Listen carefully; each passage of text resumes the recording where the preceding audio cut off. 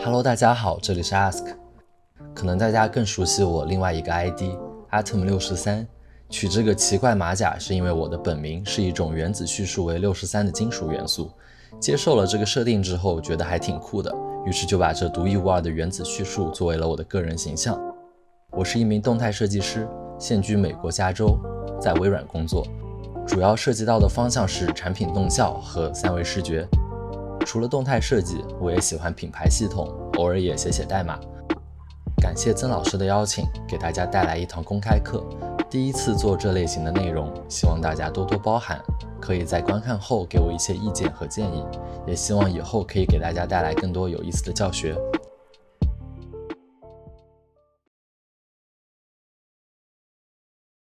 欢迎来到 Momento 公开课，这里是 Ask。这次给大家带来了一个中高难度的案例——程序化风景生成。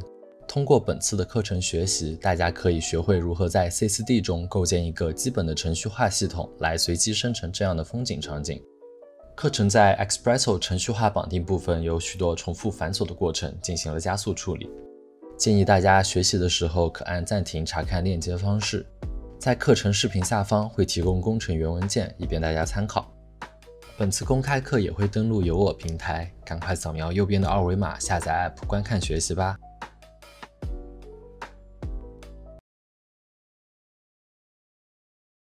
首先，我们来了解一下什么是程序化。维基百科上是这么解释的：在计算机图形学中，它也被称为随机生成，常用于制作材质、贴图和三维模型资源，并在电子游戏领域中用于自动制造大量游戏内容。解释了，但是好像又没有解释清楚。那我来谈谈我的理解。程序化分为三个部分：输入、程序算法和输出。举个例子，这是国外大神做的一个摸头表情包生成器，也就是程序。用户可以自己上传图片，也就是输入，立刻就可以获得相应的摸头表情，也就是输出。那程序化有什么优点呢？为什么要做程序化呢？我总结下来主要有三点。一是程序化设计可以做到量产，快速生成大量效果图，同时它又很灵活，可以随时修改各项参数来获得不同的输出效果。还有一点是它可以重复使用在不同的输入上，获得无限可能的输出结果。那么在 C4D 中，我们要如何实现程序化的一种呢？其实很简单，我们要用到的核心工具就是 Octane Scatter（OC 分布）。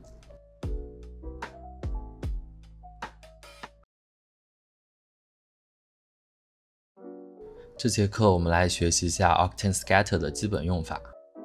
进入 C4D，我这里准备了一个工程，几个不同颜色的物体，在 OC 菜单中找到 Octane Scatter，把三个物体丢到它的下面。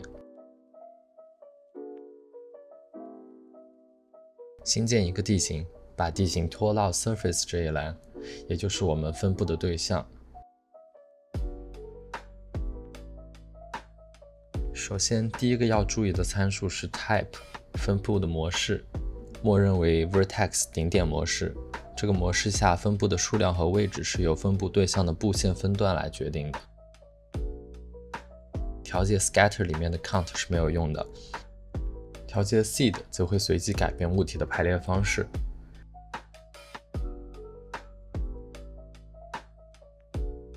第二个分布模式是 surface 表面模式。这个模式是把这个数量的克隆随机分布于对象表面，调整种子也会随机改变分布。在这个模式下，分布对象的布线分段是不会影响数量的，但是会影响分布。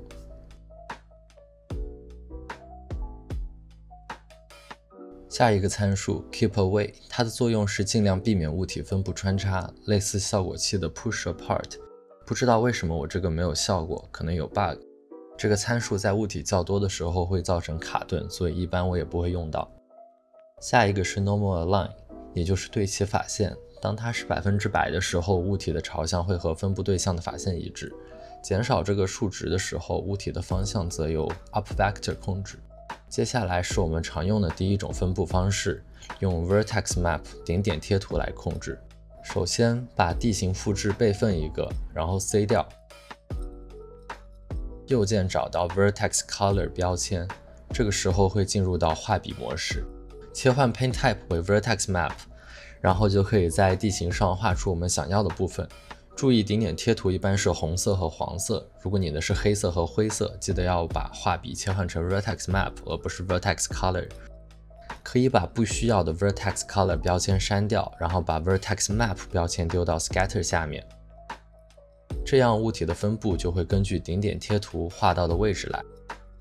这种方式可以精确控制，但是需要手动画出分布。下一个分布方式用到 Scatter 自带的 Shader。我们给它添加一个 gradient，看看效果。可以看到三种物体会按照 shader 的黑白灰来进行分布。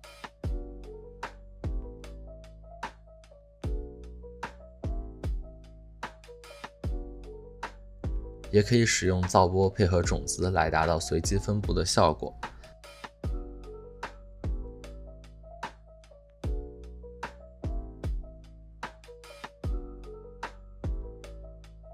如果我们想要有空白的位置，只能减少分布数量。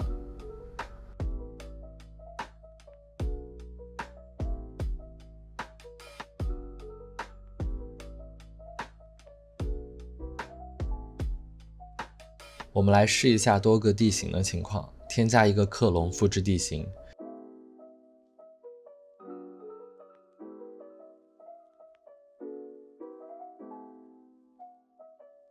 注意，如果把克隆丢进 Scatter 是没有效果的，要给克隆套一层 Connector，然后把 Connector 拖进去。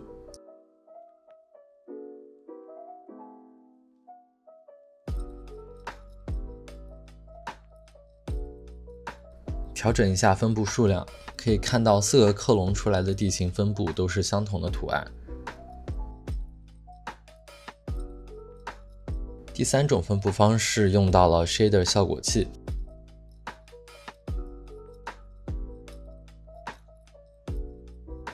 把它的 scale 改为负一，添加一个噪波，记得要拖进 scatter 下面，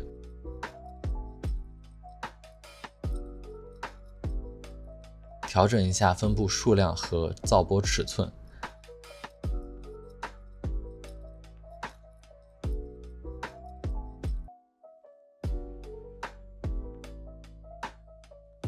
可以看到四个地形上的分布都是不一样的，这个方式就比较适合我们来做草地。最后要提的一点是，这些效果器都可以搭配 Field 域来使用，不仅可以做到更精确的控制，也可以给它做动画。感兴趣的朋友可以试一试。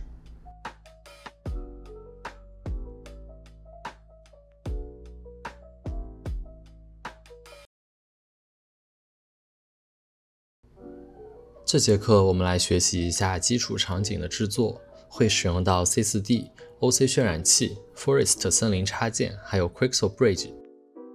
画面的思路大概是这个样子的：主体画面为地面，有草花和石头，背景是天空，然后有一个水面作为前景。那我们开始吧。OK，打开 C4D。那我用到的 OC 版本是二零二一，用到了一个 ACES 的色彩空间和直出 ACES 的渲染设置。那网上 ACES 的设置教程已经非常的多了，我这里就不再重复，就把我的渲染设置放在这给大家做个截图。我这里提前准备好了一些空对象分组，没有什么特别的，就是一些普通的摄像机、灯光以及等下会使用到的元素，方便等下整理。OK，那我们可以开始制作。首先，第一步是找到我们的 Forest 插件，然后添加一个花草的一个物体。Forester 呢是一个非常好用的程序化植物插件，每一个参数都可以调整或者用种子来随机生成。它还有一个非常方便的预设库可以直接使用。那我们先选择这个 Grass Patch，点击之后，我们的草模型就会被直接替换为预设的样子。同时会给我们提供一些材质，可以找到编辑下面的 Delete Unused Material，把未使用到的材质直接删除，剩下的这一个材质就是我们需要的。选中它之后，找到 OC 菜单材质下面的 Convert Materials，把它转换成 OC 的材质。转化之后的材质会直接帮我们替换好，所以直接把旧的材质球删除即可。这个草模型预设面数都比较低，所以可能会有一些比较明显的转角。我们可以给它添加一个 OC 渲染标签，然后给它一点渲染细分。接下来我们来调整一下材质，把材质类型改为 Universal，BRDF 模式改为 GGX。我想要能够在保留一些贴图纹理细节的同时，改变贴图的颜色。我们可以用到一个 Add 节点，记得连上 Transmission，因为草也是会透光的，这样子会让整体效果提亮一些。添加一个 RGB 节点来改变整体的颜色，可以看到纹理细节是有保留的。但是呈现出来的颜色并不是我们 RGB 选择的颜色，因为它是和原本的贴图颜色相加，所以会有误差。我们可以直接把 RGB 连到 Diffuse 上，这样子既可以保留纹理，也能呈现出我们想要的颜色。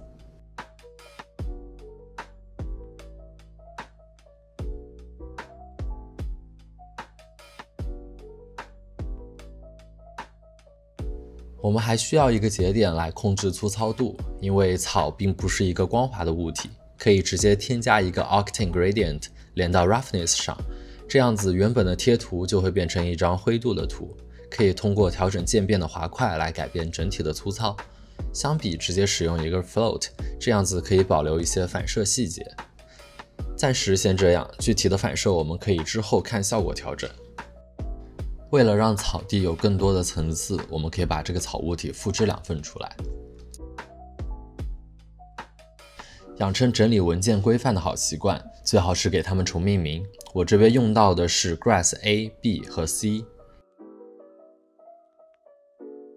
要注意的一点是，如果重新选择 Forest 的预设，它会覆盖掉我们的命名。有知道怎么解决这个问题的小伙伴，可以给我留言。那我这边是选择了一个中等高度的 bent grass 和一个较高的 long grass，是为了之后实现一个主次的视觉效果。材质部分我们也要复制两份，记得要把命名的 A、B、C 给对应上。先稍微调整一下三个材质的颜色，让它们有点区别，可以一个浅一些，一个偏青色一些，暂时能看出区别就可以了。之后我们再做调整。下一步我们来准备一下花的部分。我比较喜欢用 Quixel Bridge 里面的资产，一是它的细节非常好，二是它一套花里面有多种不同的元素，而且是由同一个材质控制。那我选择这套，直接点 Export 就可以导出进入 C4D。记得要把 OC 渲染暂停了再导入，不要像我这样，可以避免导入时 OC 卡住崩溃的情况。因为有的资产会导入的比较久，无法导入的朋友可以在菜单 Edit Manage Plugin 里面检查一下是否下载好了 C4D 的 Bridge 插件，Export Setting 里也要选上 C4D。导入进来的模型看起来非常大，我们检查一下它的 PSR，这里被放大了，可以全部选中，然后把 PSR 归零。如果有材质不显示的情况，重新点一次渲染就好了。下一步，我们来给它的材质做点调整。点开材质，整理一下节点布局。这个 displacement 可以直接删掉。和草材质的思路差不多，我们也是需要一个调整颜色的设置，用到 add 节点。直接用 RGB 的话，会让模型整体都变成一个颜色。但是我希望能够保留更多的一些颜色细节。比如花的头部和身体是不一样的颜色，我们可以用一个 gradient 渐变节点来控制整体的颜色。只要滑块的两边有色差，就能够保留更多的细节。先大概给一个黄色吧，之后我们再做调整。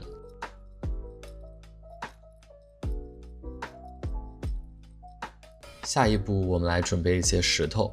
用到的同样是 Quixel Bridge 里面的资产，直接搜 Rock 即可。要注意的是，石头模型大概分成两种，一种是 Closed，就是模型每个方向都是封了面无死角的；另外一种是 Open，它有一个方向是没有封面，直接使用的话会有穿帮的情况。石头的选择上，我喜欢用棱角比较分明的石头，就不是那种圆圆滚滚的感觉。导入进来，稍微摆放一下，方便我们查看。然后也要调整一下它们的材质。我的想法是，因为整体的画面草啊花啊都是有颜色的，石头就可以用一些中性的颜色来平衡一下。可以直接把 displacement 删掉，没有太大的影响，但是可以节约一些计算量。用一个 Octane Gradient 节点连到 Diffuse 中间，这样子就是一个黑白颜色的石头。可以通过调整滑块的位置来改变颜色的深浅。以此类推，我们把剩下的石头材质都处理一下，记得把它们的颜色调整为差不多的深浅。下一步，我们来准备一下地面的材质，同样是用到了 Quicksil Bridge，可以直接搜 Sand 沙地或者 Dirt 土地一类的。具体怎么挑选，可以根据你的想法来。我的话比较喜欢用细节看起来没有那么多的沙地。导入进来，我们先添加一个 landscape 地形，把高度设为零，方便我们观察。这时候可以打个光，直接添加一个 HDRI。这种场景我喜欢用天光的 HDR 去模拟一个自然场景的效果。我这边用到的是 GSG 灰猩猩的 HDR 库里的一张天光。地面的材质就暂时先这样，之后再看情况调整。记得把置换删掉，不然分布上去的物体和地面之间会有空隙。下一步，选择我们的资产，把 Y 轴高度改为负五百，避免在使用 OC Scatter 的时候本体出现在画面中。添加一个 OC Scatter，记得随时做好命名。把对应的草物体丢进去，分布模式改为 Surface，分布对象添加为 Landscape。其他参数先不动，之后再做调整。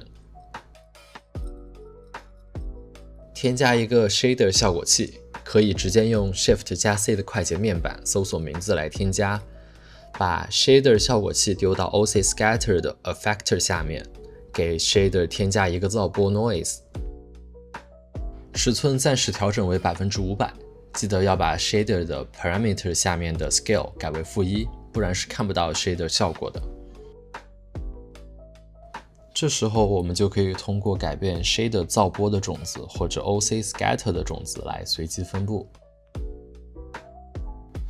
下一步，我们添加一个随机效果器，调整下 H 轴的随机角度，把尺寸给一个零点三左右的数，这样子随机的对比度也不会太大。记得要把效果器丢到 OC Scatter 下面。做好命名，把物体丢到对应的分组下面，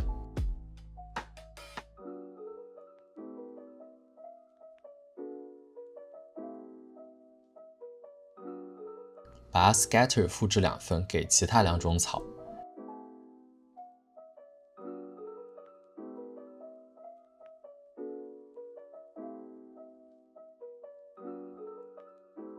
Shader 也是同样的，复制两份出来，这样子方便我们分开控制三种草的分布。记得把对应的 Shader 放到 OC Scatter 下面，然后把原本的删除。可以调整一下 Shader 噪波的参数来查看是否生效，也可以先把其他的草分布关掉，单独查看。我们来调整一下草的分布数量。我的思路是，Grass A 是最短的，做一个平铺打底的效果，可以把数量给多一些。Grass B 和 C 相对较长，来做一些零散分布的层次。可以通过调整 Shader 噪波里的 High Clip、Contrast 等参数来调整分布的面积。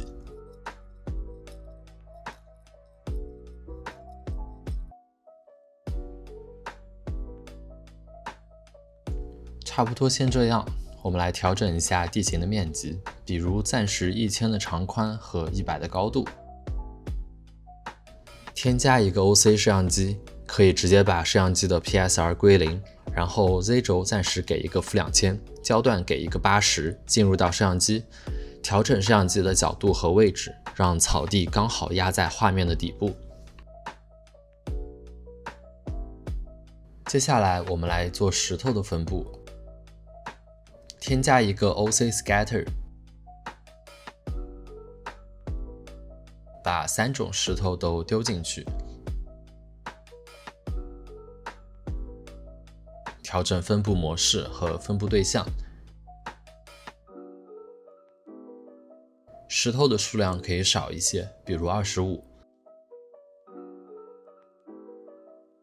单独再添加一个随机效果器给石头，来随机它的旋转和大小。因为我们的石头都是无死角的模型，所以旋转上三个轴向都可以给数值。现在整体的尺寸太大了，我们可以找到石头的 Offset Scatter 下面 Scale 这一栏调整大小。记得勾选 Uniform，否则数值只会影响单个轴向的大小。因为我们的石头数量比较少，所以直接通过 OC Scatter 的种子就可以随机分布了。不需要再添加一个 shader。当然，如果你希望有更精确的控制，也是可以通过 shader 来实现的。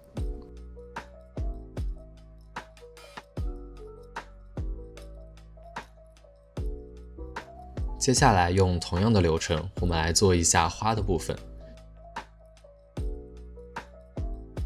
要注意的是，整个流程中随时做好各种东西的命名，也不要忘记给花添加全局的随机效果器。花的数量呢，我们可以少一些，比如二百五十，整体的大小改为零点四左右。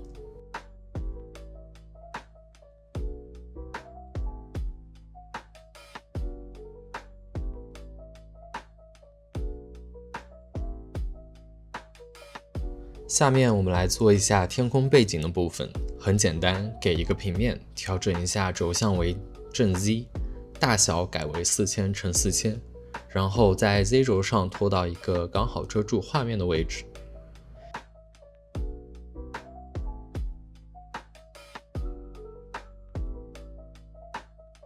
天空的材质也比较简单，我们新建一个 Universal 材质，命名为 Sky。我的想法是让天的上面和下面有一个深浅颜色的渐变。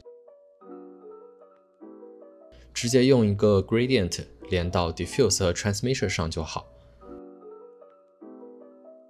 连 transmission 是希望它能够透过一些光，不会太暗。调整下渐变的轴向和颜色，我这边用到的是一个深蓝色和低饱和的浅蓝色。接下来可以给天空单独打一个光，选中天空的平面，找到 OC 下面的 targeted area light。按住 Alt 添加，这样子会直接添加选中的平面为目标。调整区域光的位置、面积和强度，让它从地平线的位置给天空打一个光。注意不要太亮了，我们这么做的目的是让画面的光感更有层次一些。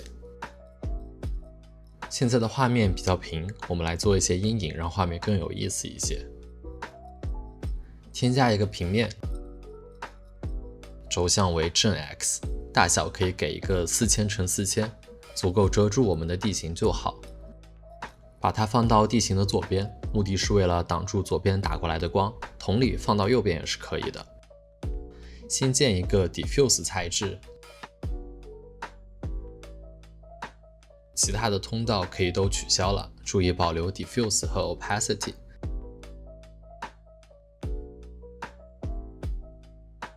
给 opacity 添加一个 noise 噪波，把 diffuse 改为纯黑色，这样子我们就可以获得一些有意思的阴影。可以通过改变噪波的尺寸和对比度等数值来调整阴影的分布和边缘模糊度。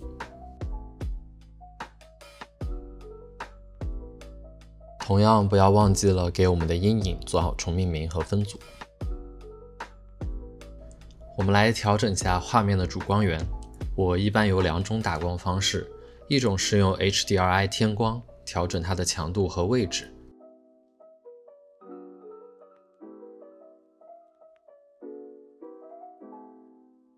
另外一种是用 OC 的天光。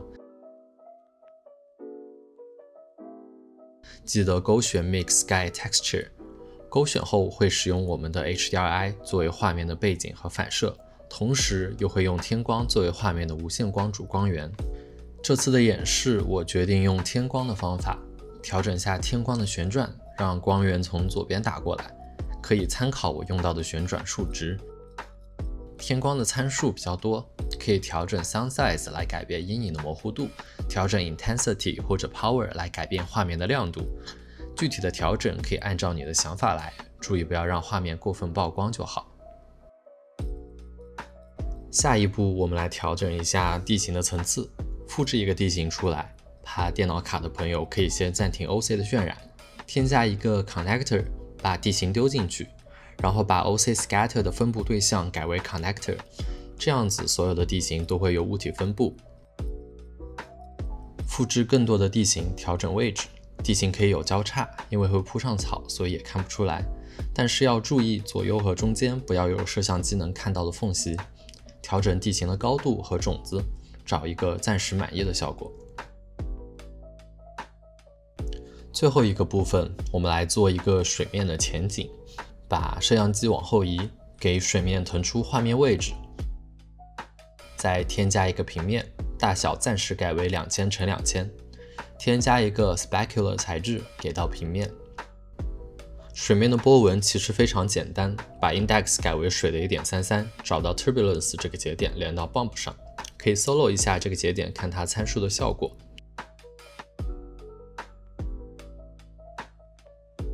我用的是零点一的 power 和十六的 octaves，这样子是一个小一点的波纹，可以根据自己的想法来调整。接下来我们复制一个地形出来，把它放到水的平面的子集，PSR 归零，地形高度为一，长宽和水面一样，两千乘两千，Y 轴高度为负五十。这么做的目的是让水有一个地面，不会透光。把水面 Y 轴抬高二十，我们来处理一下水面和地形的衔接部分。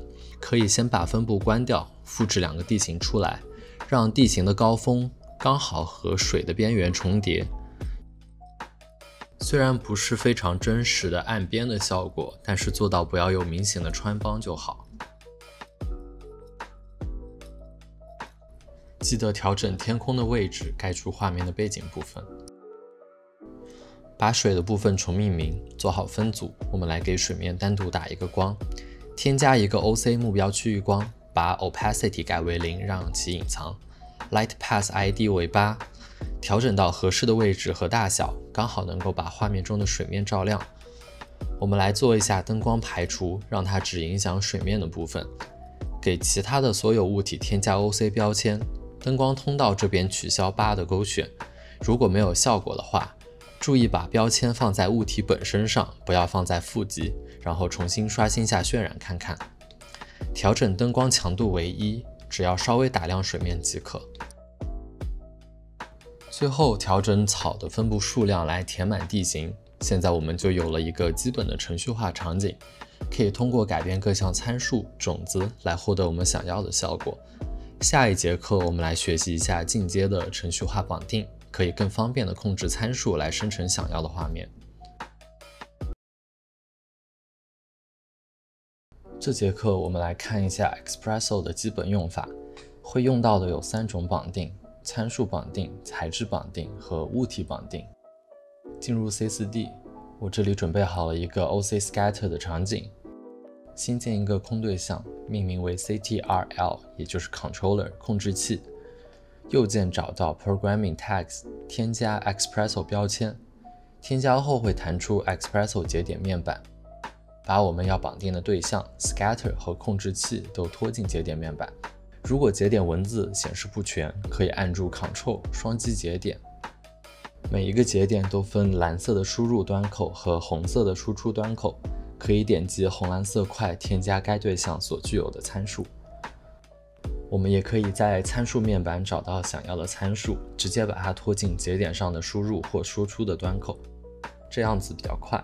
我们也可以自定义参数，点开控制器，找到右侧 Data，打开界面，我们可以自定义添加参数分组和参数，创建两个参数，命名为 seed A 和 B。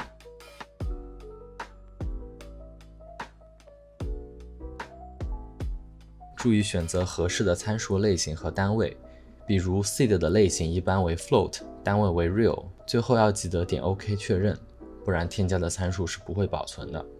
把添加好的 seed A 和 B 拖进节点面板中控制器的输出端口。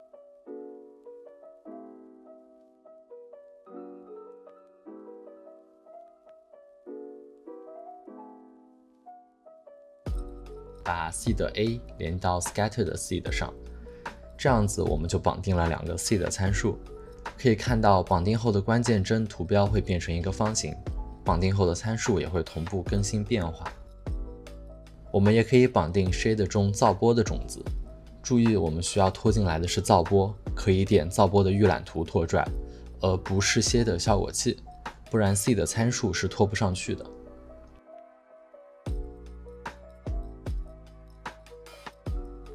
把 seed B 和噪波的 seed 相连，这样子就完成了噪波的绑定。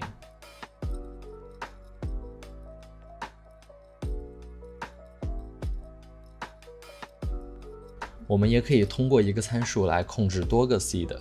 点开控制器的 user data，新建一个 master seed 参数，注意单位等设置。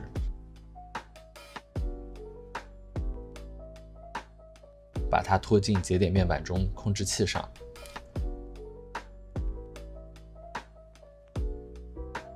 我们可以用 math 节点，这个的功能是对两个输入做加减乘除或者除余。如果没有连接输入的话，可以在参数这里设置。注意，这里同样有单位可以选择，保持一致，我们选择 real。运算方式为 add 相加，这样连的目的就是在 seed A 和 B 上加上一个 master seed，我们就可以通过 master seed 来同时控制两个种子，同时也不影响 A 和 B 的单独使用。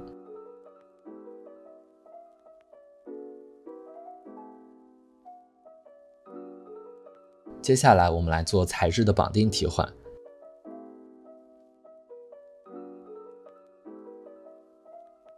需要一个 mix 材质球，记得把 mix 拖到我们的物体上，把第一个黄色材质拖进 mix 中，把 mix 的 float 设置为一，也就是 mix 会完全显示为材质一的效果。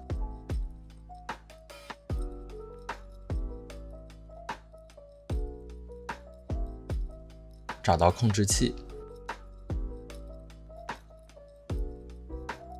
新建一个 user data 为 color。单位为 real，我们可以继续在原本的控制器节点上添加新增的参数，也可以再把控制器拖进来一次，分成单独的板块来做不同的绑定。那么我们要绑定的对象是这个 mix 材质，把它拖进来，找到 mix 中材质一的参数，拖进节点的输入端口。我们会用到另外一个节点叫 link list。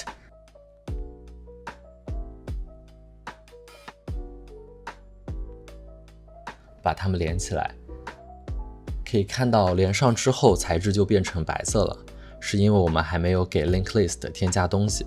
link list 的作用是生成一个列表，从序号零开始数起。可以点一下这边的锁的图标，锁住这个界面，然后多选三个材质一起拖进来。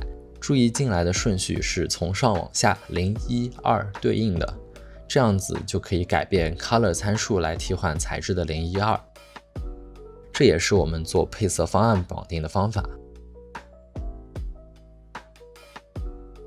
我们同样可以把这一组参数也用一个 Mat 节点连接到 master seed 上。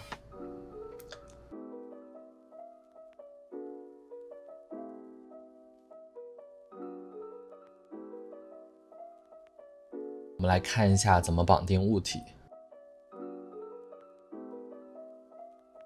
把模型本体先从 scatter 拖出来，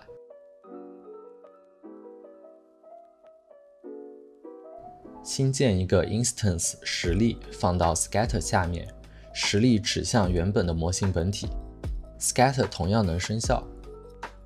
我们需要绑定的就是这个实例，把它拖进节点面板，找到 reference object 参数拖进来节点的输入端口，把控制器也拖进来。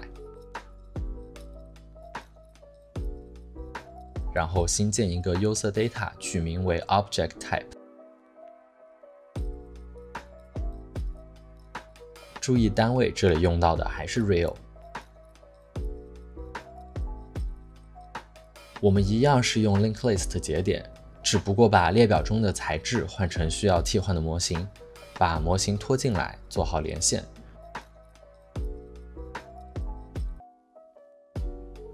这样子就绑定好了模型的替换。以上就是我们会用到的 Expresso 部分。当然，这只是冰山一角。如果你对 Expresso 绑定有兴趣的话，可以搜索下全面的教程进行深入学习。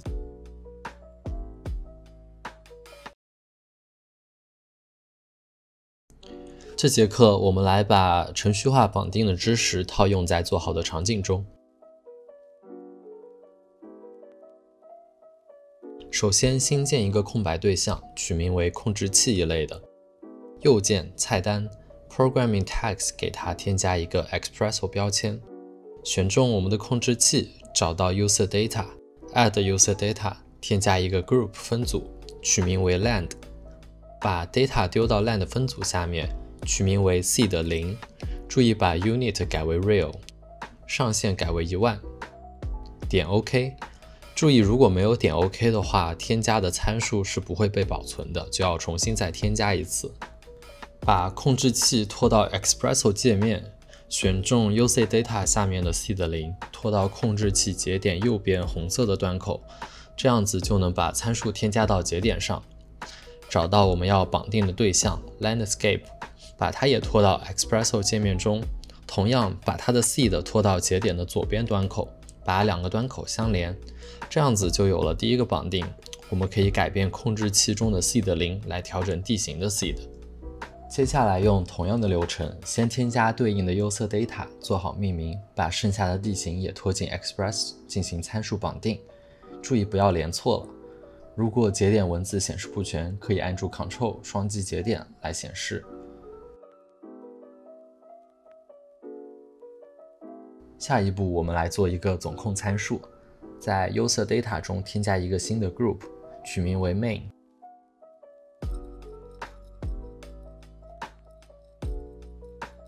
加一个 master seed 参数，确认添加。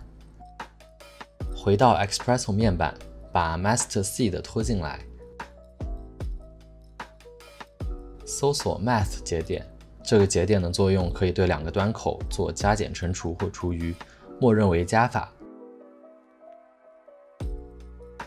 通过相加两个种子，每次改变 master seed 的时候，都可以作用于所有绑定。这样子我们就有了一个总控参数。接下来我们来绑定草的部分，一样的流程，需要什么参数就添加什么 user data。要注意的是，草的绑定可以把 OC Scatter 里面的种子和 Shader 造波里的种子绑在一起，达到一个完全随机的效果。同样用 Math 节点把所有的草分布都绑定到 Master Seed 上。用同样的方法把花和石头的 Scatter 也给绑定一下。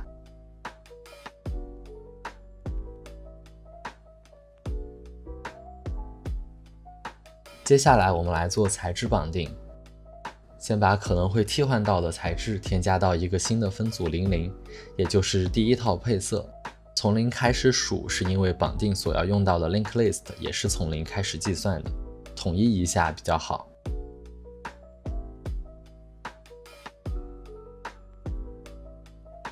添加一个 mix 材质。注意命名为 Grass A，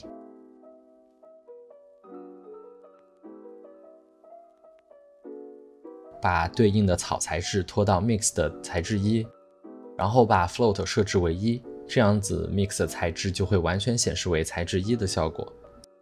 把 Mix A 复制出来，注意命名为 B 和 C。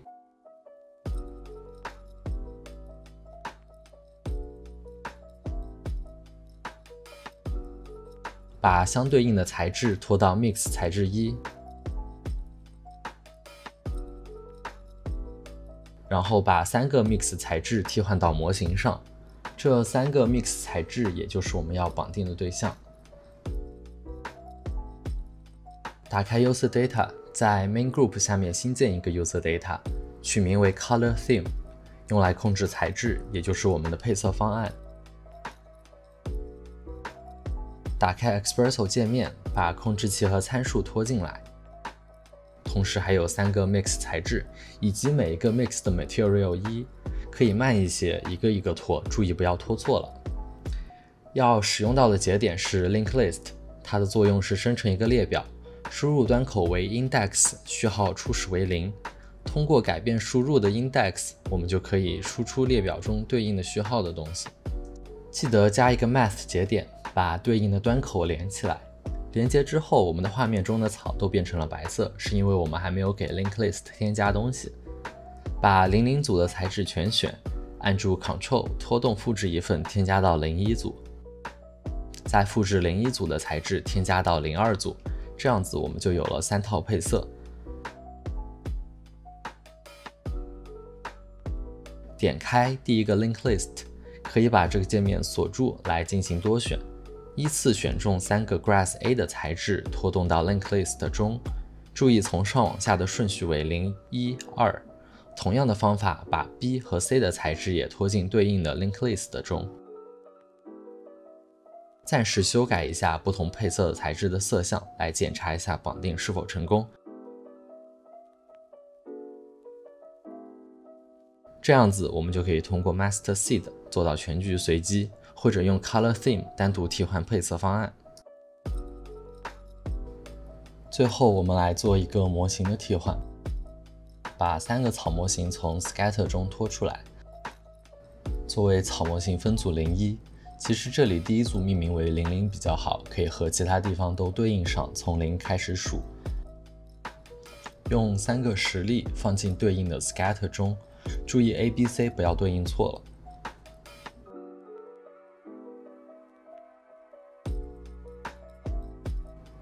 复制两个草模型组，要做好相应的命名。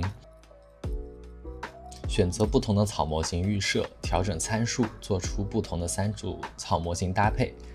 需要注意的是，更换预设后名字会被覆盖。最后记得重新命名好 A、B、C，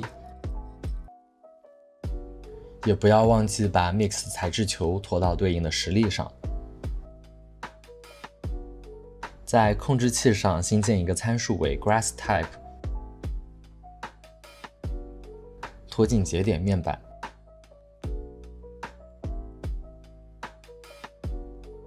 对应的三个实例也拖进来，用 link list 绑定上实例的 reference object 参数。不要忘记用 math 绑定到 master seed 上。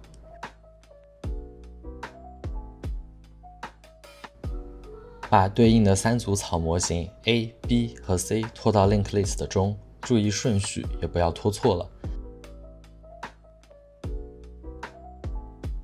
最后检查一下能否通过控制器替换模型。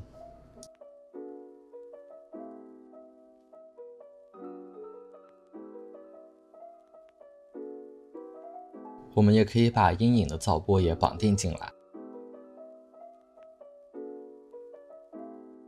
复制出来几个地形放到后面作为远景，同样绑定好它们的 seed。这样就完成了一个绑定好的程序化场景。大家可以根据自己的想法需要，添加相应的参数，绑定实现对应的控制。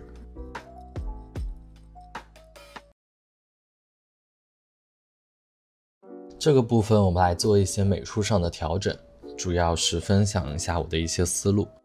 首先调整的是配色方案，最实用的方法就是用色轮和基础色彩理论。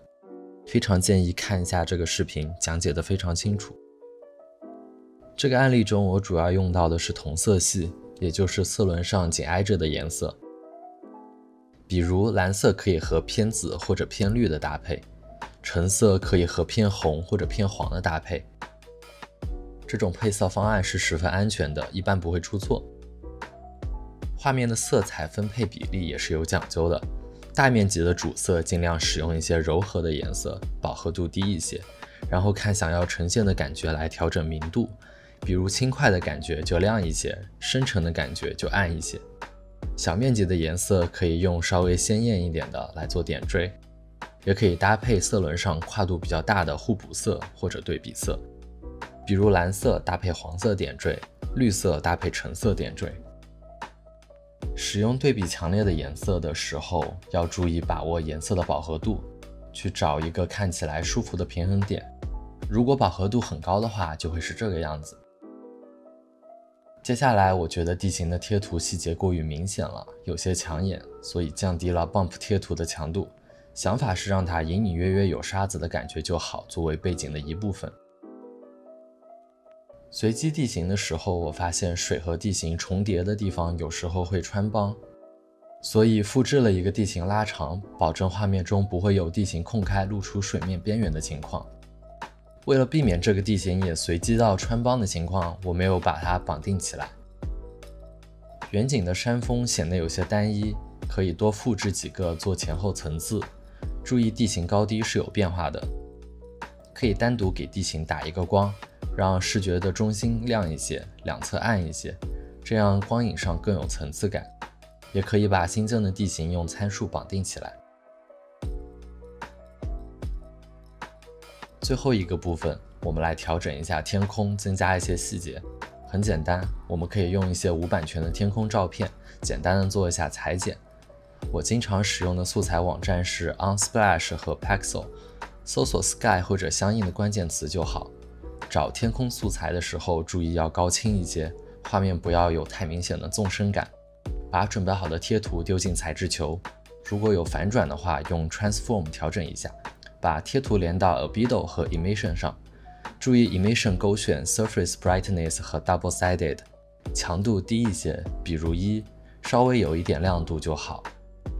可以搭配一个 Gradient 节点连到 Transmission 上，调整渐变两端的深浅，就可以控制天空贴图的细节程度。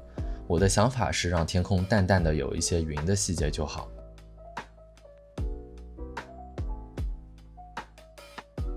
最后一步，把做好的天空材质复制出来，依次替换上其他的天空贴图。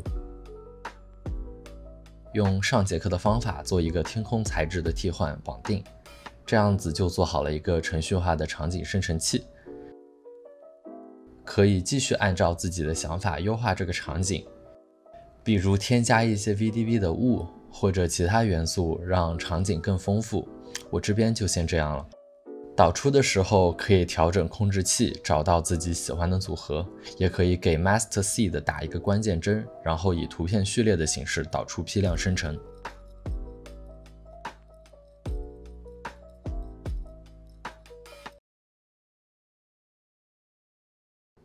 这节课我们来看一下怎么用 Photoshop 做批量后期。这里有一些我提前渲染好的图片，放在了一个文件夹中。把其中一张拖进 PS，我们要使用的功能就是 PS 的动作 Actions，找到 Actions 面板，右下角新建动作，取名为 Post Edit，点击 Record 确认录制，这时候这边会出现红点，我们做的任何操作都会被录制进这个动作中。接下来我们做一些简单的后期，右键图层转化为智能对象。找到滤镜中的 Camera Raw，简单的调整下对比度、明暗和锐化等，点击确认。动作面板中可以看到刚刚做的两个操作都被录制下来了。我们也可以添加一个调整图层，提高对比，或者添加一个滤镜，提亮画面。注意不要出现过曝的情况。假如我们做好了后期调整，准备导出，找到文件夹菜单下面的导出，保存到网页。选择合适的格式和画质精度，我这里用的是 JPG 和最高画质。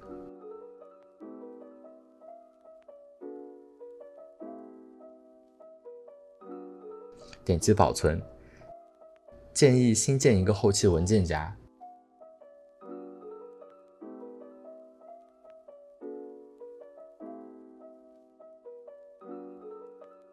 最后一步是关掉当前的文件，然后重新打开一个新文件，